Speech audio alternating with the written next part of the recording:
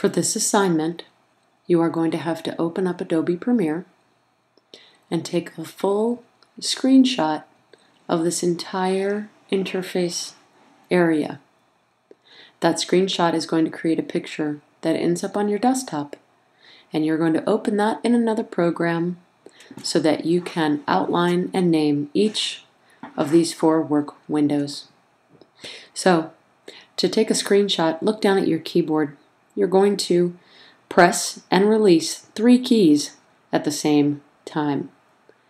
Those keys are Command, Shift, and 3. When you press those keys and release, your computer will take a photograph of whatever is on the screen. You can minimize Premiere once you've done that by pressing on the yellow button here. And you'll see on your desktop, in addition to whatever really cute picture you've got, something called a screenshot. Right click on that image and choose Open with Preview. Open with Preview. Preview is nothing more than a simple photo viewer and editor, but it's going to let us mark up that image with some information that you're going to send to me. So click Open with Preview and give your image a minute to open in preview. Now, this app has a couple of really cool tools that we are going to access so that you can box out each of those four work windows in Premiere and label them with the name of the work window.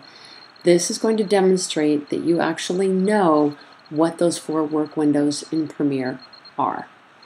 So what will come up is a picture of your Premiere work area, but notice it's nothing more than a photograph. It's even called screenshot blah blah blah at whatever time you made it. It shows everything that I had open at the time. Now this is what's so cool about preview. And you'll notice up here next to the apple, preview is open. That's how I know what application I'm in. In order to really accomplish this task, you're going to have to view your editing toolbar. This is going to let us draw boxes and put text on top of each of these four work windows. So click on Show Edit Toolbar. In newer versions of Preview, this might be called Markup Toolbar. Click on that and you'll see a whole series of symbols pop up. These things are really cool. They let you annotate on top of an image. I'm going to choose the rectangle tool. My cursor is pointing right at it. And I have some options. You can choose cute colors and whatever. Don't choose anything too dark or else I won't be able to see it on your image. I'm going to choose something really bright, in this case a bright orange.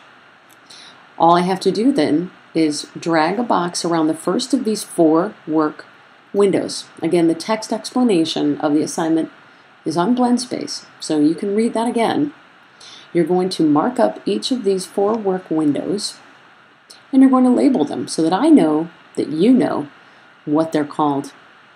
So I've drawn a box around it, that's great. Step two is to add text. Right here, I've got my text tool. Text. You could even put a cute speech bubble or a thought bubble. Hey, as long as it's big enough for me to read it, I'm fine with any of those. I'll use plain old text. 26 point is pretty decent to start. All I have to do is click in this window. Click! And a text box pops up. I can make it bigger if I want to but I need to make sure that I edit this text. I know what window this is. Do you? This is the source window. There you go. Don't say I never gave you anything.